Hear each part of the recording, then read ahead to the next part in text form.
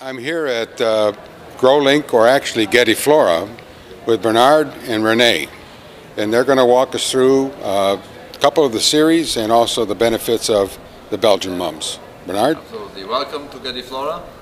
Uh, this is, as a matter of fact, this is the first uh, official Gediflora display here at GroLink. In the past, uh, Belgian mums were displayed under GroLink. Uh, uh, they have GroLink had exclusive rights to sell and distribute mums, Belgian mums here in the United States and Canada. Uh, now Gediflora is taking over.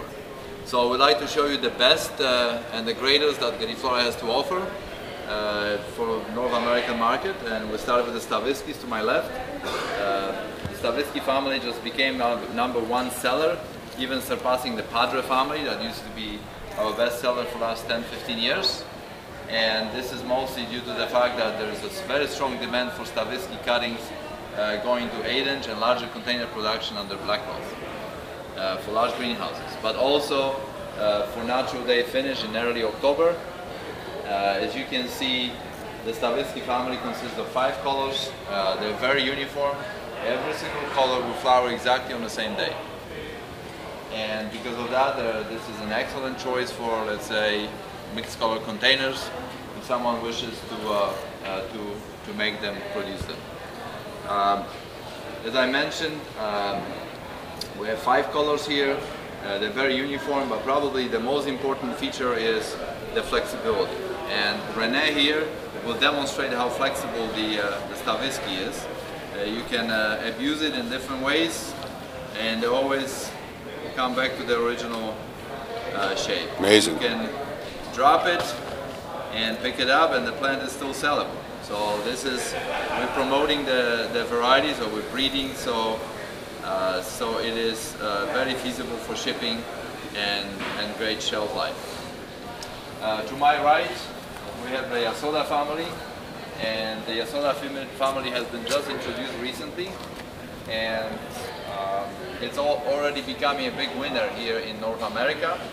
Uh, this is Gediflora's number one variety in Europe. Uh, as a matter of fact, 90% of the market in Holland is filled with with Josiah sodas. It's such a great uh, variety.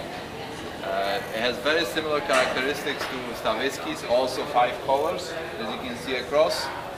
And the exception is, or the difference, the main differences are that uh, Jasoda has fully decorated flowers even under the, the black cloth, versus Stavisky showing a little bit of that disc and, and being a half daisy at this time of the year. And also the fact that the Jasodas will be they're less uh, vigorous and uh, so you would want to use them in smaller container sizes compared to Staviskis uh, for using in larger containers. As I mentioned before, uh, both families have incredible flexibility, so we have a little setup here for you uh, to see. We uh, packaged those Staviskis last Friday and we had many groups here. We've been loading them and unloading and as you can see they did survive the the rough handling quite well. And this is what you're going to see at the store if you decide to use the Staviskis and, and keep them even for uh, four to five days at, at, the store on the rack. Of course, we wish uh, you sell them right away the first day, but uh, just in case. Now, the popularity of the uh, sodas in Europe is because of the smaller container size. That is correct. Now, I noticed they have more of a cushion type flower, whereas over here you have more of a daisy type flower. Is that also right. maybe a preference? As I, as I, yeah, I think that Europe, Europe, Europe uses decorative. only uh, eight-inch pots and uh, and uh, six-inch pots, mm -hmm. and therefore we use the the Jasoda instead of the because you use this for the bigger pots. Okay. And this is all indoor.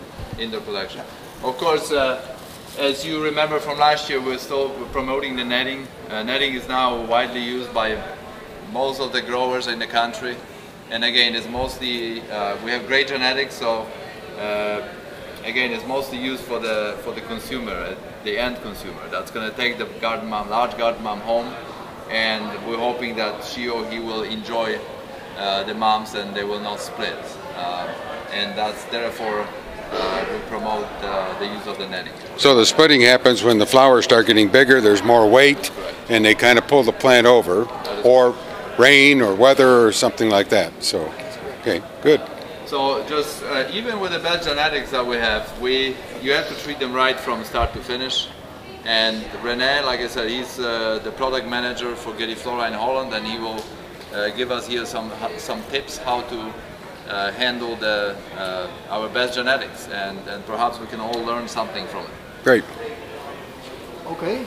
Um, what I want is that, that we start with a rooted, uh, small rooted cutting. Yes. You have also col- colleagues who deliver big rooted cuttings, but I don't want them. I want the small rooted cuttings because otherwise my whole story is gone. So we start with a rooted cutting. I have here some example. For example, the cuttings they have two leaves on the top and two leaves on the bottom, and the grower has to plant the two leaves on the bottom into the soil because then the first side shoots are coming out of the soil and that makes your plant stable. This is an example, this was planted off-site and it was planted too high and then your end result be, will be like this. So even with the best genetics you can do it wrong. Mm-hmm. We have here two the same varieties planted the same day. One was planted off-site and too high and the other one was planted in the middle and deep. You see the big differences in quality wise. Oh, yes. So we want to sell this one and we don't want to sell this one. So that's very important. Furthermore, the genetics of the Gediflora is no pinch because everybody pinch different. They do it themselves. Uh, if you have a group of four or five people or even one uh, person who pinches, it's completely different and you get uh, very unequal crops.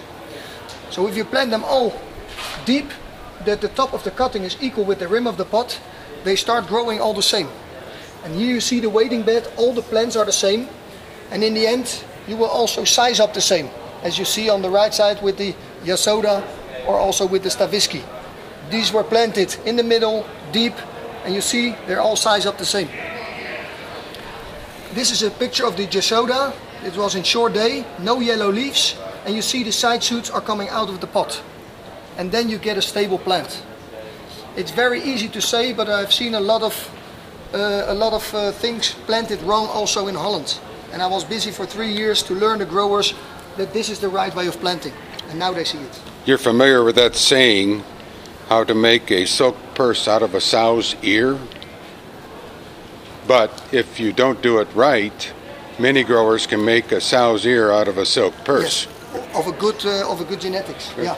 Great information. So we're Great. hoping that from now on, the growers will deliver only this type of plants to the market, and and not this that uh, plants will be planted properly and handled properly. Great. Thank you. Thank you. Thank you.